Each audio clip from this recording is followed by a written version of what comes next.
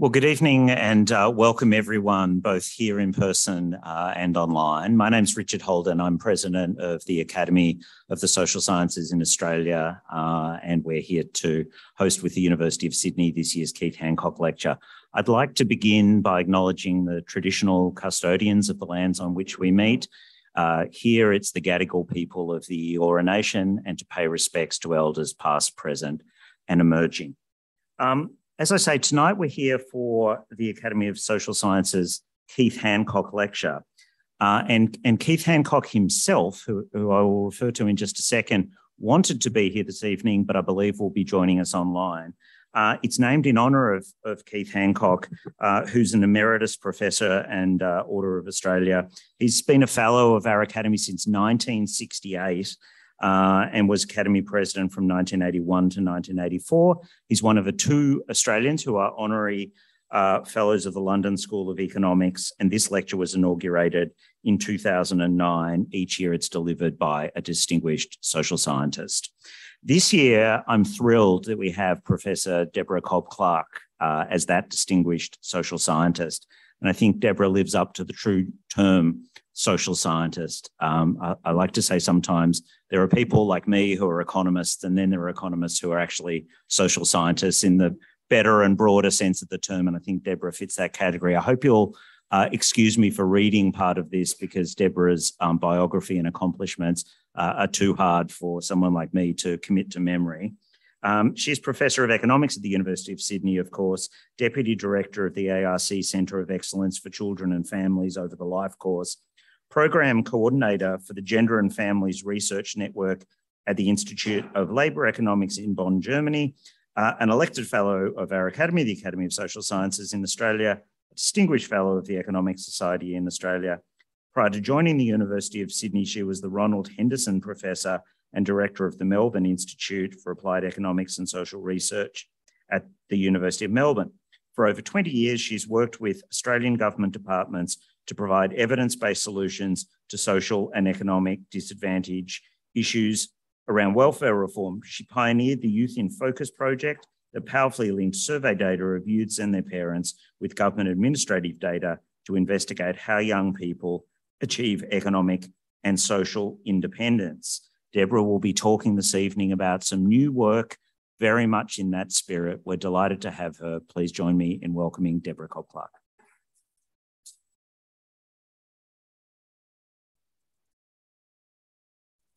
So thank you very much for that very generous um, introduction, Richard. And I'd like to also welcome all of you who are here, and I'm aware that there are people um, joining us online.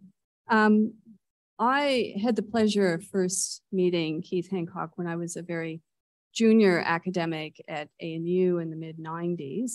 Um, I had recently arrived from um, the US and I was on a very steep learning curve. And maybe, maybe just to give you a sense of that learning curve, I'll just tell you my story. Um, so I'm standing in Normal, Illinois, surrounded by four children, which is already pretty interesting. And in those days, um, everything was, you know, all business was conducted by mail. So one day, a contract arrives in the mail from ANU and it says, you know, we'd like to offer you this visiting position. Please sign the contract. Um, when you're ready to make your travel arrangements, call up Qantas and tell them ANU will pay. And I said to my husband, oh, what kind of a country is this anyway? Does everybody know everybody or something? um, no way this is actually going to work. And the first of those things actually is true, right? If you've spent any time in Canberra, you know that everybody does know everybody. Um, the second of those things turned out to be false. It did work. That was exactly how business was done. Um, you know, periodically, Qantas would send an invoice to ANU and, and you would just pay it. And it was all very civilized. So Keith was one of the first people that I met and he was part of a, a chorus of people who were telling me, with a certain amount of pride, I might say, um, that, you know, Australia is different. Australia is not like US. And I'd already started to work out some of that. Since that time, my research agenda has largely been around one question What can we do to prevent poor children from growing up to be poor adults? That's it. That's my other pitch right there. That's it. Um, in the beginning, when I arrived, we were largely thinking about that question through the lens of what we knew about the US. There wasn't a lot of Australian data, and Australians really didn't know very much about themselves. Since that time, you know, the, the sort of data that we've had access to and the, the sorts of um, research that we've been able to do with those data have given us a much richer understanding, much more nuanced understanding of what it is that's leading to intergenerational disadvantage um, in Australia. So what I thought I would do tonight is just weave a bit of a story about, you know, disadvantage, inequality, economic opportunity, and what we sort of now understand about the things that lead poor, about why poor children actually grow up to be poor adults. Um, so I thought maybe just to, to kind of motivate a little bit,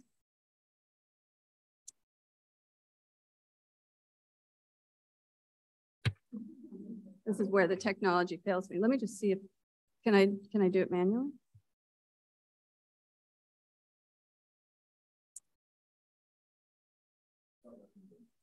No. Oh.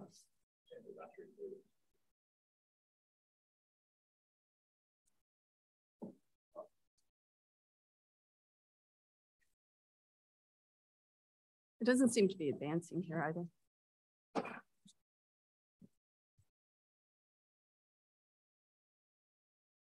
Okay. Oh, there we go. Okay, there we go. Okay. All right, so I just want to start with this um, quite long quote from Barack Obama. I'm not going to read it to you, I'll just paraphrase. Basically, what he says is, you know, it's been a disaster in Washington. None of us have done a particularly good job. Everybody's really frustrated with us. Um, but what we need to understand that the frustrations that the American people have are not just due to these sort of political um, debates and gymnastics that are happening. Really, the source of their frustration is the frustration that comes um, through their daily lives. They're struggling to make ends meet, to pay for the kids' college, to buy a home, save for retirement, and they have a nagging sense that no matter how hard they work, the deck is stacked against them. Their kids are not going to be better off than they were. And they may not follow the back and forth of the politics that goes on in Washington, but what's really motivating them is this frustration that they are experiencing in a very personal way, the relentless, decades long uh, trend that is this growing inequality. And the lack of upward mobility has therefore jeopardized this middle class American bargain that if you work hard, you're actually going to get a chance to get ahead. And he called this out as what um, as the defining challenge of our times. My, my view is that if you really want to understand the US, you don't need to understand the extremes. What you need to do is you need to understand the middle. And you need to understand that a lot of people feel this way. And if you're sitting in the middle of that distribution and you're really quite worried about what's what your position is going to be and, and what's going to happen for your children, that that's motivating a lot of the turmoil that we're seeing.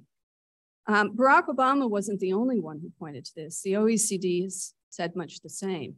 They've drawn a link between sort of, you know, perceptions that there is strong upward mobility and life satisfaction and well-being, and a sense that there isn't um, that same sort of mobility is tends to be associated with um, under has a tendency to undermine the democratic process and also the kind of social contract that we have.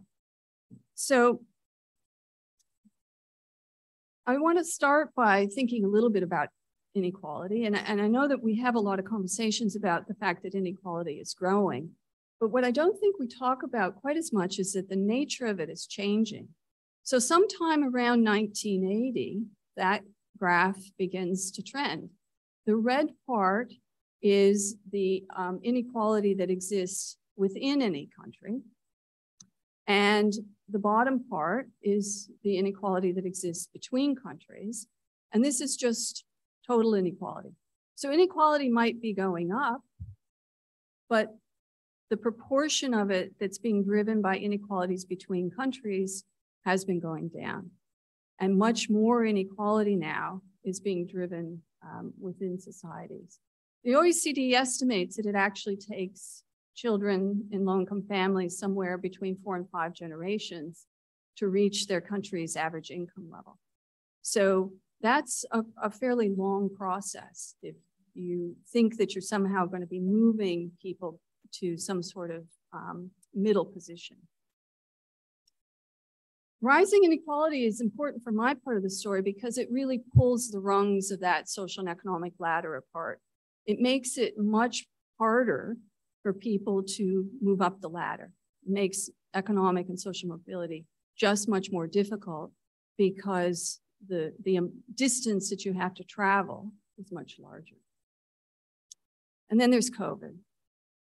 So there's plenty of bad news, right? We're, we're worried about the COVID generation, those who are under the age of 50, 25, um, facing declining social mobility because of the rising um, economic and educational inequalities that would have come out of all of the disruption and school closures and the way that universities have pivoted to online education.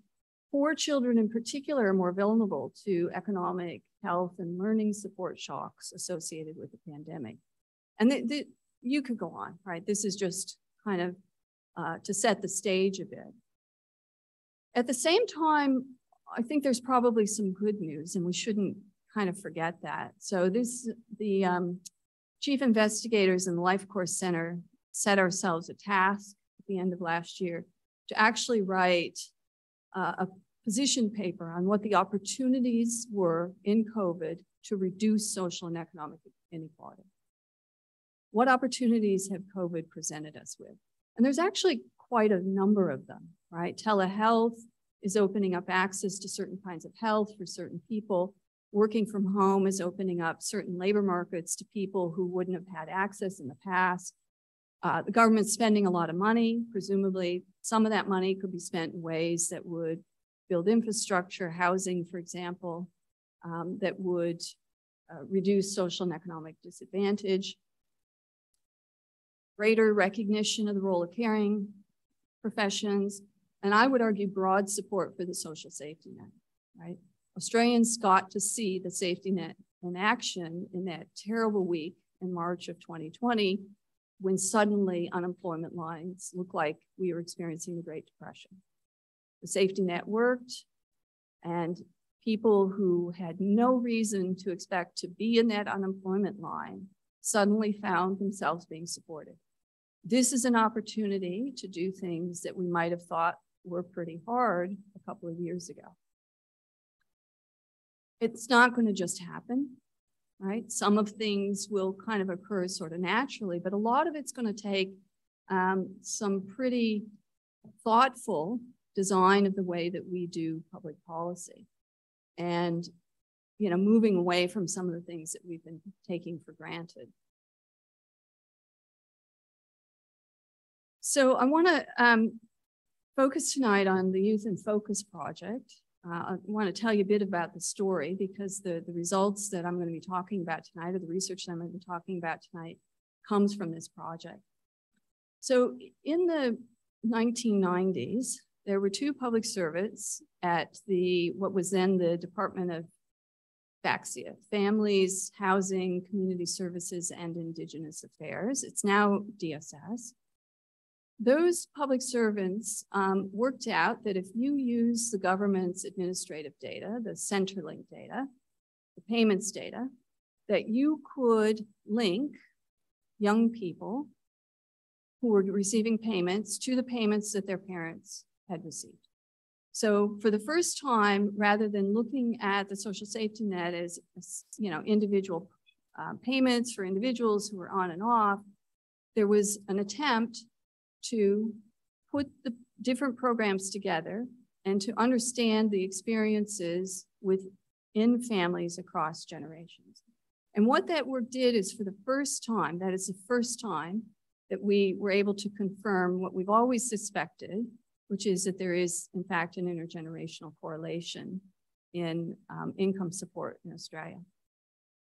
So that led to the Youth in Focus project, which had as its objective um, trying to study the consequences of growing up in a family with a history of income support, but more importantly, trying to understand the mechanisms. How is it that disadvantage is getting passed from one generation to the next in these, um, in these families? The project was supported by a linkage grant from the Australian Research Council. Um, and I will note for those of you who are thinking about Research Council grants at the moment, yes, it was true. This was a five-year grant because in those days you could get five-year grants. Um, we no longer can do that. Um, it was in partnership with FaHCSIA as the industry partner, and then we had support from Centrelink. And it was a, a very major project, right? We had a substantial amount of resources that were being contributed through um, the Australian Research Council funding, but also through, um, through the Commonwealth government. And we had a, a large research team. Um, since then, the data that I'm going to talk to you about have been used by numerous research um, policymakers, PhD students, um, I didn't do an exact count, but we think probably close to two dozen publications have resulted from that. And, and I just want to note that the research from tonight's lecture was done jointly with Melissa Babanyos here as well. Okay, so what did the project look like? Well, we started with the government's administrative data. It has this, you know, unfortunate name. They named it before we got to the table. Um, it's called the transgenerational data set. Um, it basically covers 97% of young people who were born in this six month window. And we're able to kind of work that out because we have census data that tells us how many kids were born. Um, at, you know, the safety net's very generous, very uh, comprehensive for families with young children. So you're in this data set not necessarily because your parents received welfare or income support, but also because at some point somebody got a child care payment for you, or they got a family tax benefit for you. Then those data provide us with detailed um, fortnightly social assistance payments from uh, start of 1996 to 2014 is what we currently are working with. And we can link um, young people to their families. What we did as part of this project was in 2006, now not quite 20 years ago, we ran a survey. So we drew a sample of individuals that were in the administrative data, and we got Roy Morgan to um, conduct phone interviews with a sample of the youth who were at that time turning 18 and a parent, typically their mother, who was asked a bunch of questions to kind of fill in the, the background information. Um, the interviews give us a lot of contextual information. So the problem, the administrative data are great, but the problem is that you don't know very much about people, right? You don't know education with any regularity. You're not necessarily, you might know income, but you're not necessarily going to know what type of job they've got. You certainly don't know things about mental health or how they feel about social benefits or you know what their family relationships are like. So what we wanted to do was conduct a survey, a comprehensive survey to ask all kinds of contextual information. And we wanted to talk to mothers on the grounds that we thought they would be able to fill in for us background information about what happened to children while they were growing up. We asked a, a permission question to do the linking, and 96% of young people asked, agreed that the survey information that we were collecting could be matched to the administrative data. So when I talk about income support, I don't necessarily mean all transfer payments, right? So the Department of Social Services makes all kinds of transfer payments, including old age pensions and um, childcare payments and certain family tax benefits, um, uh, the youth allowance, which university students get. Right? We tend to pull that out. And The payments that we're going to focus on as being income support are the health payments that go to people who are disabled, either for physical or mental disability, or because you're caring for someone who has a health issue, right? Um, the payments to go to parents, low income parents, either partnered or single, and then unemployment payments, either Newstart allowance for adults or youth allowance, job seeker for um, youth.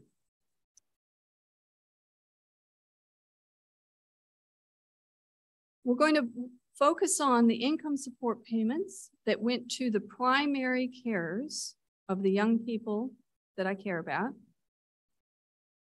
Um, between the period of 1996 and 2002.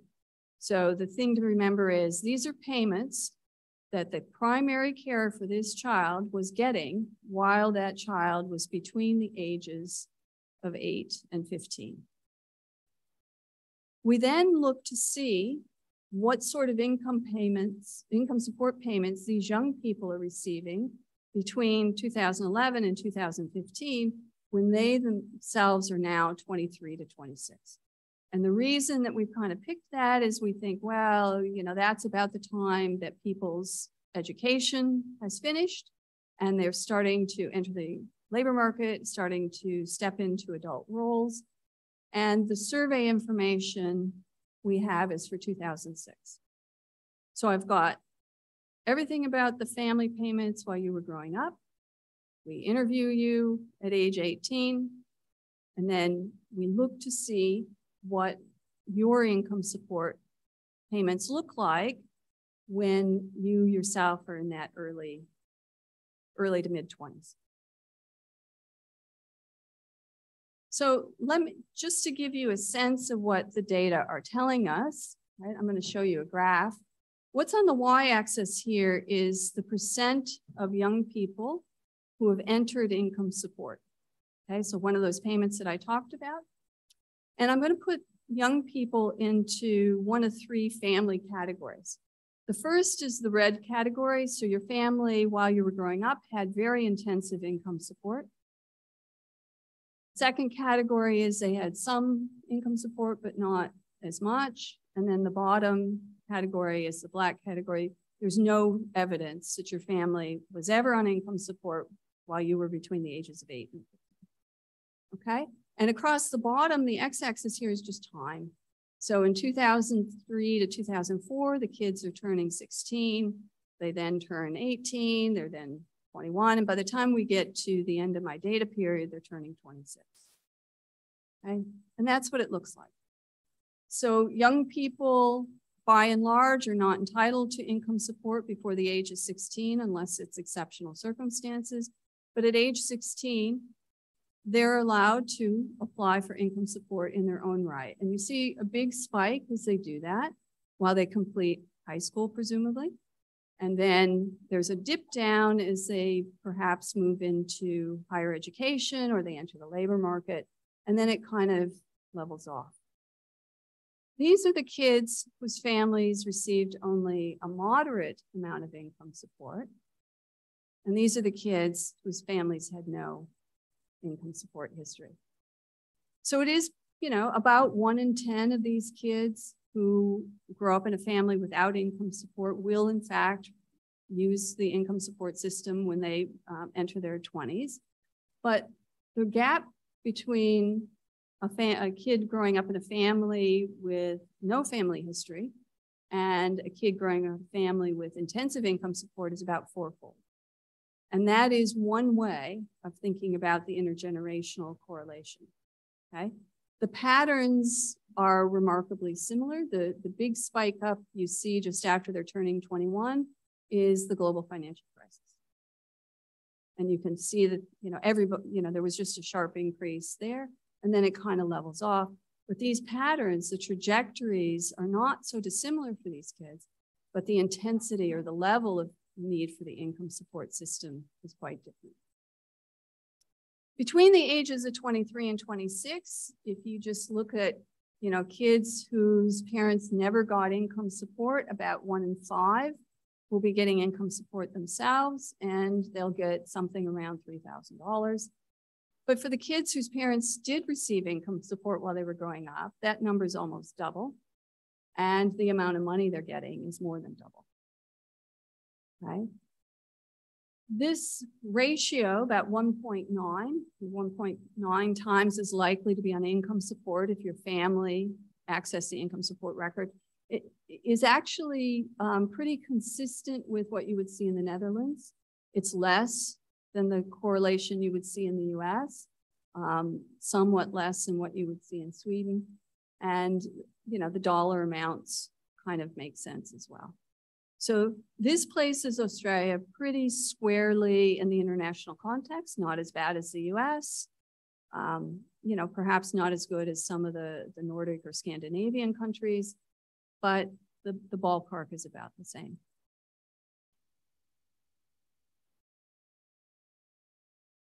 The other point that I want to make is that this um, intergenerational correlation in income support exists for all the payments. So this is um, the first set of bars here is the, the, um, the proportion of kids who are on any income support. The dark red or the brown color is for those kids and families whose parents didn't access income support. The orange is for the kids who are in families who, whose parents did. Those are the health payments. The same gap between kids who have a family history of income support and don't are just about the same. That's the parenting payments, and this is the unemployment payments.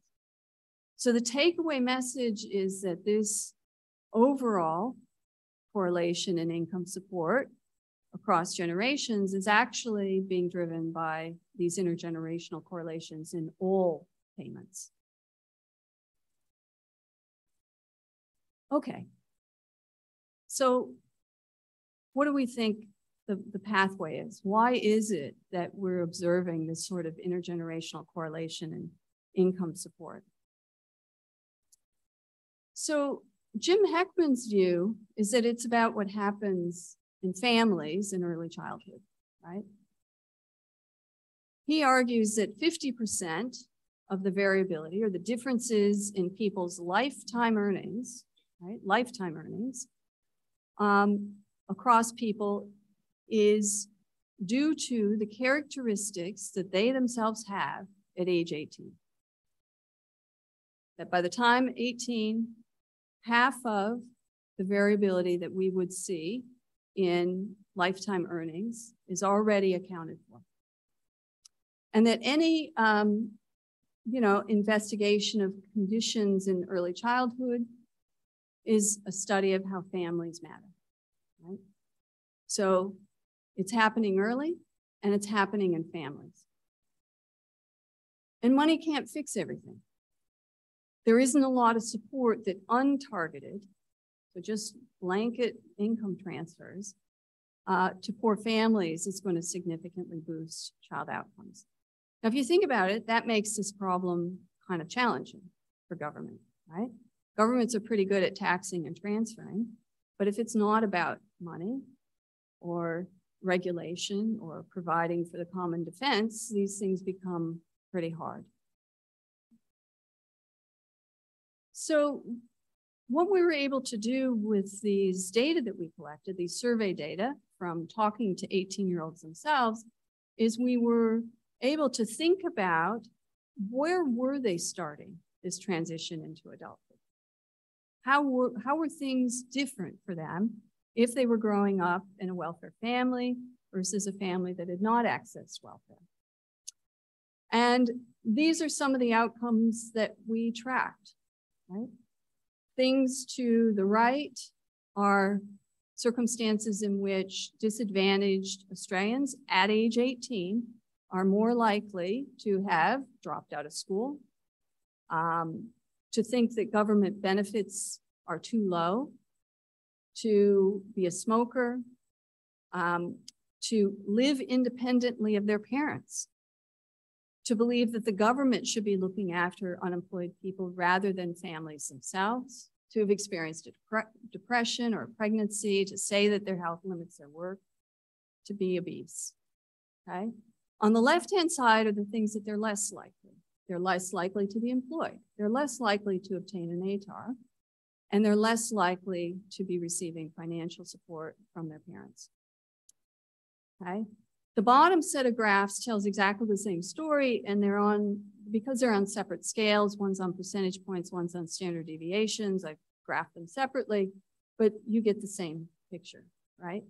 Delinquency and drug use are more common, having an internal locus of control, um, physically exercising regularly, having good relationships with your parents are all less likely.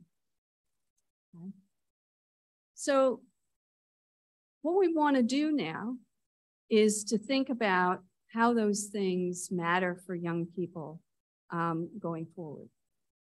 One of the points I want to make here is that in a, in a relative sense, some of these things are actually really very large. So welfare kids are three times as likely to experience pregnancy. They are nearly twice as likely to drop out of high school or to be a smoker. Others of these differences are less important. Um, the ATAR gap is actually about four points. So what we did is we essentially divided the relationship between parents and kids income support into two group into two pathways. One is a direct effect, and one is an indirect effect that operates through um, through the outcome at age 18. Okay, the overall is the sum of the two pathways, and what we're trying to do is understand whether these things we measured at 18 that I just showed you are in fact responsible or a likely pathway for the uh, intergenerational correlation in income support. And here's what we found. These graphs are the proportion of the overall correlation that is due to that outcome that we measured at 18. These are the education outcomes. If you stack the risky behaviors, right, you get, uh, you get about 20%. Parenting accounts for somewhat smaller, and then a bunch of things that may be significant but are probably not important. So the takeaway message from this is that about 22% of that overall correlation is operating through the failure to complete high school. Those welfare kids are just much less likely, and that's driving or accounting for a lot of the intergenerational correlation. Okay. Risk taking also matters, right? Um, and untangling those two things is, is pretty complicated. Um, what drives that failure to complete high school? It's early school experiences, lots of disruptions. So uh, school changes, re residential changes, suspension, expulsion. Once kids complete year 12, there's actually surprisingly little impact of the family having grown up on welfare. So if you can get them to year 12, you get them to complete, you don't see much, right? But for those kids who drop out, there continues to be an impact of a family history of welfare. And it, it's largely because the kids in welfare families who are dropping out are dropping out for the wrong reasons, in a sense, right? They have financial problems, poor behavior. Somebody told them they should go. They're not making progress. Kids in, in more advantaged families tend to report that they're leaving because they have a job, because they have an apprenticeship, because whatever they've chosen to do with their life does not require them to complete high school. Okay? And there's very little coming through these attitudes. Yes, young people growing up on income support have different views of the income support system, but that's not explaining why they end up on income support themselves. So what do we do now? Well, the first thing to note here is that it's a pretty complicated problem. Um, the capacity of kids to make a successful transition into adulthood is driven by all kinds of things, not just financial resources, but experience and influence and expectation. And there's some strategies, right? This is from the OECD. What governments need to do is eliminate system level policies that hinder equity and target low performing disadvantaged schools. So with that in mind, what I want to do is just turn to a couple of options to consider, right? This is not a full menu. There's going to be plenty of other examples of things that we might consider trying. Um, but I think that the, the two things that I'm, I'm going to draw your attention to are well within reach. And the first is behavior management in schools. So the international evidence, there's some um, quasi-experimental kind of causal evidence that suggests suspensions are pretty bad. Suspensions and expulsions for disorderly behavior um, tend to reduce test scores and re reduce graduation rates and increase criminality. Now, in Australia, we don't have this kind of quasi-experimental causal kinds of evidence. What we have is a lot of correlations. And what we know is that students and families who receive intensive income support are four times as likely, four times as likely to uh, be suspended. They're two and a half times as likely to repeat a grade.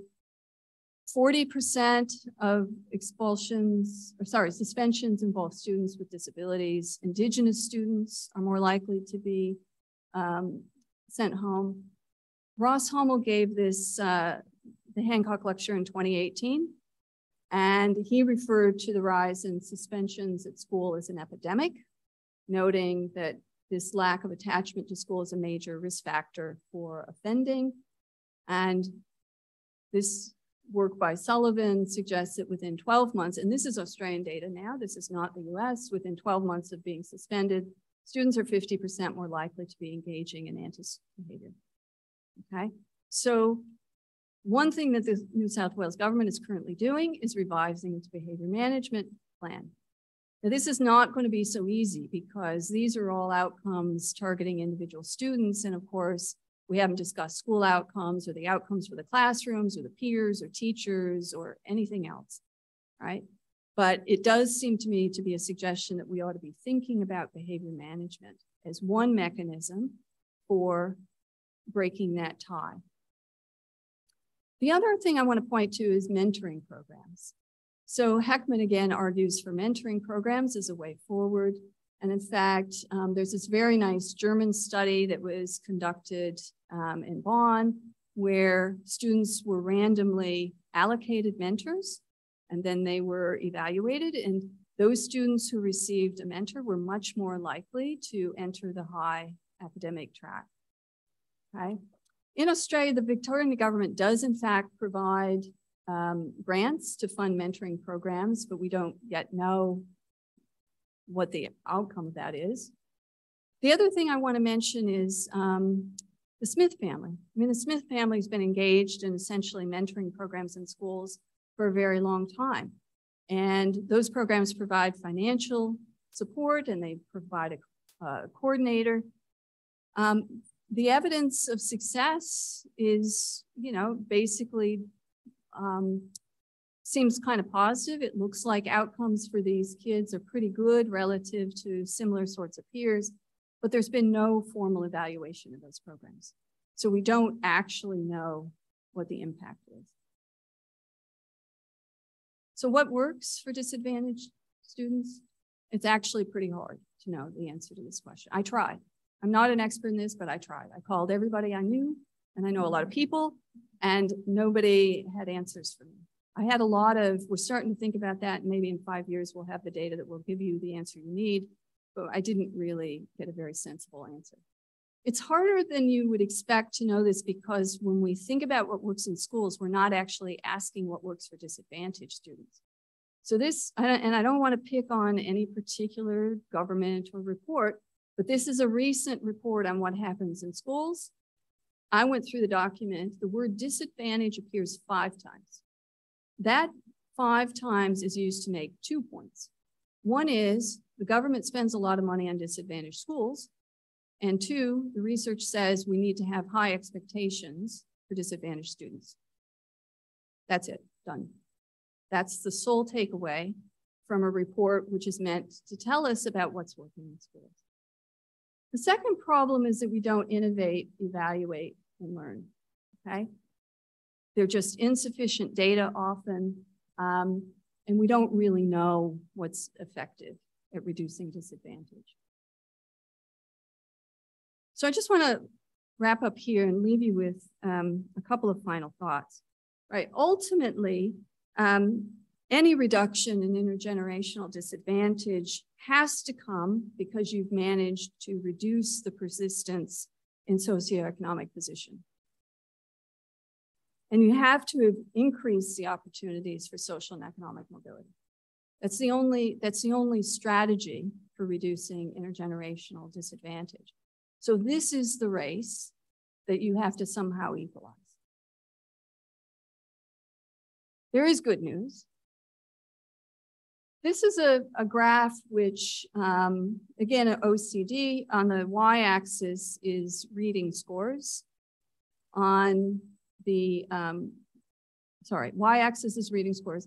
X-axis in the opposite direction is the um, extent to which social and economic disadvantage plays a role in education. Okay, and the, the lines which determine the four quadrants is the OECD average. So countries that are in the top right quadrant, those are countries where test scores are above average and social and economic position plays less than average or smaller than average role in educational outcomes. Okay. In the bottom left quadrant, these are countries where test scores are pretty bad and there's a lot of inequity associated with social and economic disadvantage. There's Australia. And there's the US. So good news, Australia is not like the US, right? You're starting, we're starting from a very, very strong position, right? We're starting from a very strong position. Test scores are higher than average. The impact of social and economic disadvantage is less than average, right? That's the good news. And, and but there are a number of countries that you might aspire to be, right? Everyone wants to know about Finland, but the one that attracts me up there is Canada, right? Surely we can be like Canada. That doesn't seem like a big step going forward. Um, and I think what I'll do is just leave it there.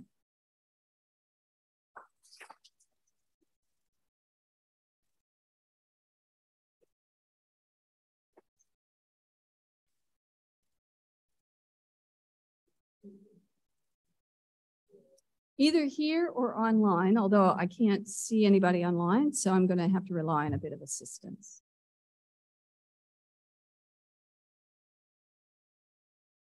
There is one question online, which I might just read out if that's okay. Yep. Uh, what do you mean by untargeted transfers to the poor?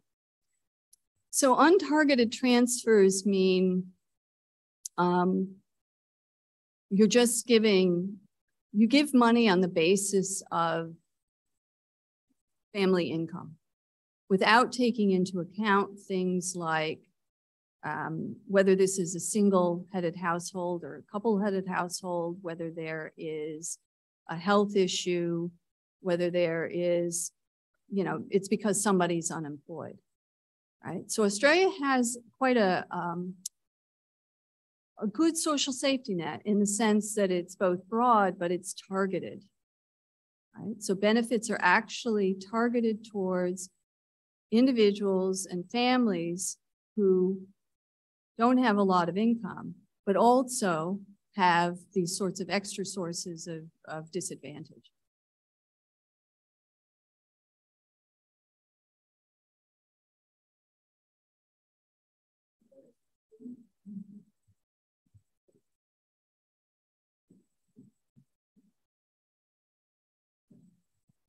Your your point about uh, can we be like Canada um, resonates with me since I grew up in Canada and trying to think what's similar and what's different. And I guess one difference uh, that strikes me, not being an expert on it, is um, there's uh, massively more subsidies of private school education right. and single sex school education as well in Australia than in Canada. Um, does this play a role when you're saying that the sort of um, suspensions and those issues uh, seem very correlated with people then dropping out, and, and that's really a key mechanism for um, problems later on. Um, is this related to just you know uh, st staff student ratios or things that are different in private schools and public schools, or something else that's different with private schools and public schools, or is it not related to private school, public schools at all? And I'm just worrying about fact that inequality might be exaggerated by those policies. So, so I guess I, I don't really know how suspensions and expulsions play out in private schools, right? I would be surprised if the, the kinds of numbers that you see in public schools were actually happening in private schools. Because after all, you know, parents pay a lot to make sure that private schools look after their kids.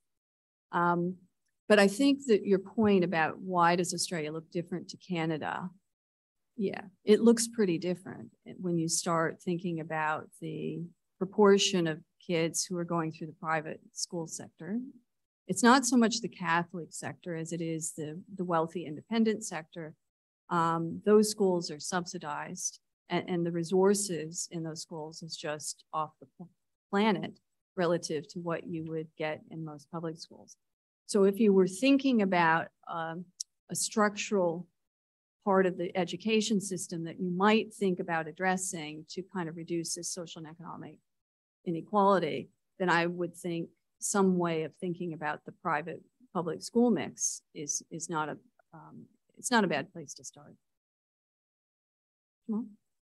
Sure. Uh, so uh, my question is a bit uh, different um, because I focus on developing countries and we do see quite a bit of uh, evidence on the positive effect of unconditional cash transfer.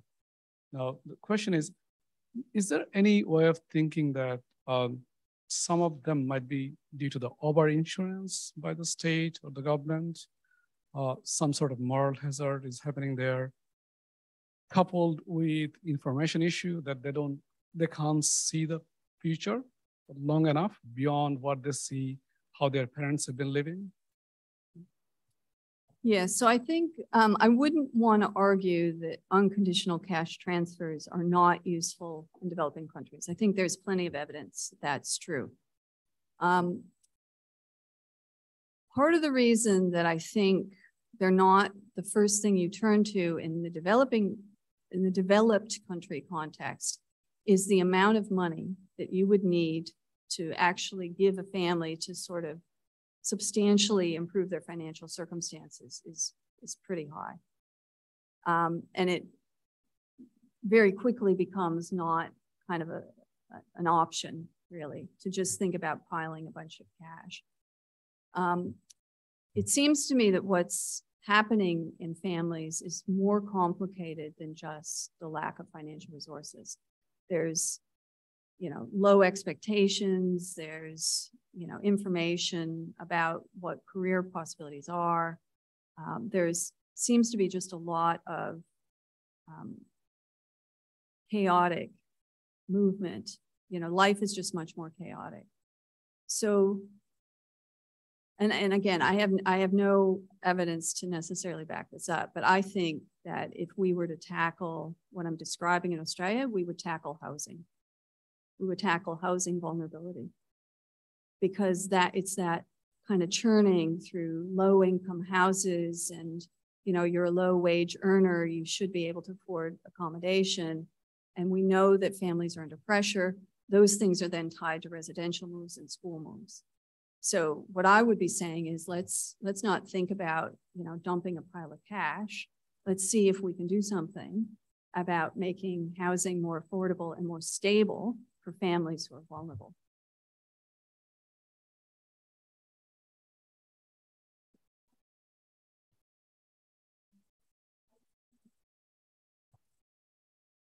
When we're thinking about what works and what would be most efficient, in other words, what would have the greatest effect at the lowest cost to government or to society, what's the one piece of research that you'd like to see being done that would help us answer that question?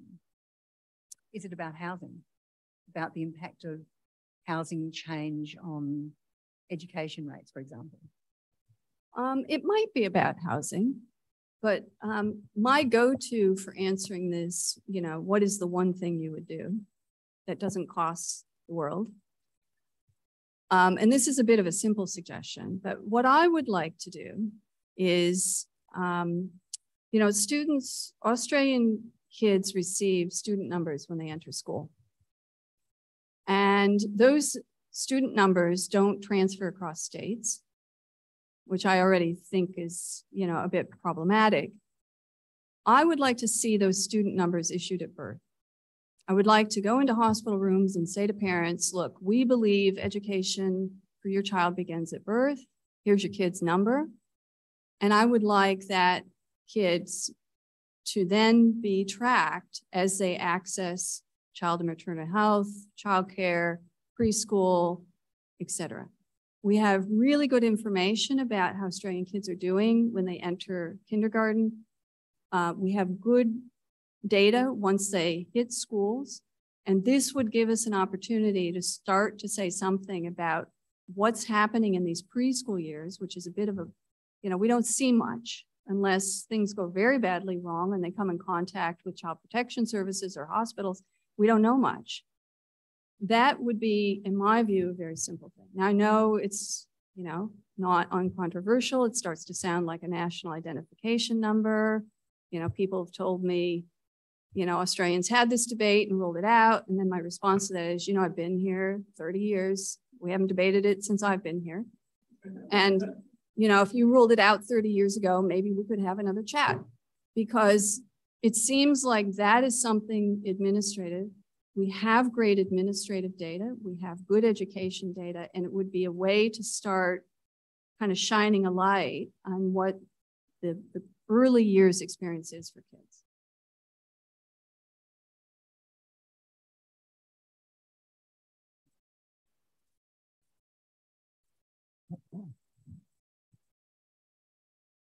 Hi, Deborah.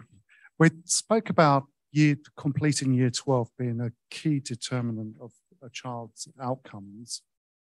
And we spoke about some of the things that can be done, housing, mentors. But what would you say was the key thing which could actually manage that outcome? When, when could the intervention happen?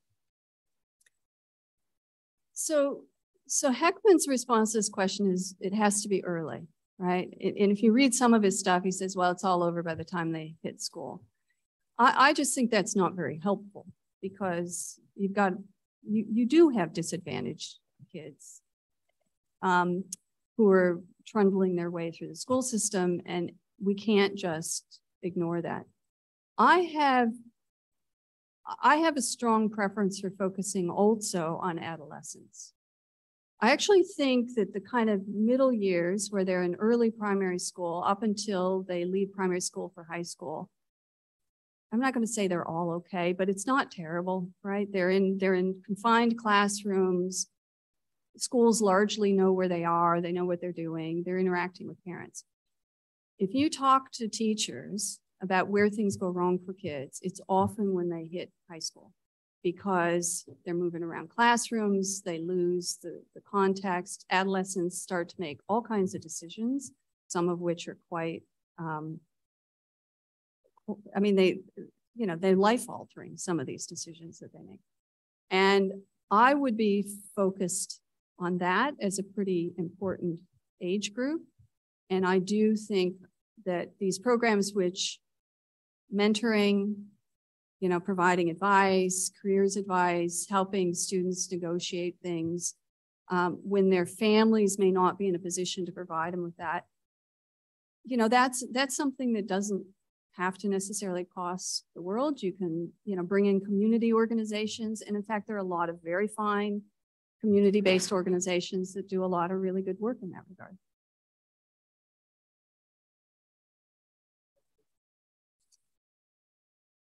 Yes.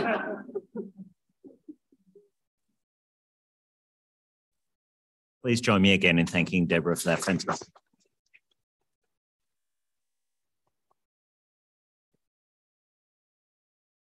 I'd like to uh, briefly thank uh, Tiffany Talia and the rest of the events team who, who made uh, tonight possible. uh, to the University of Sydney and the head of school, Professor Garry Barrett, for your hospitality. We really appreciate it. Um, I have very fond memories of the University of Sydney, which is my alma mater and gave me a start in taking my first economics course. So you're both responsible for that, but also have my gratitude. Um, and I believe uh, we're going to be able to enjoy some more of the University of Sydney's hospitality as you join us for refreshments outside. Thank you again, Deborah.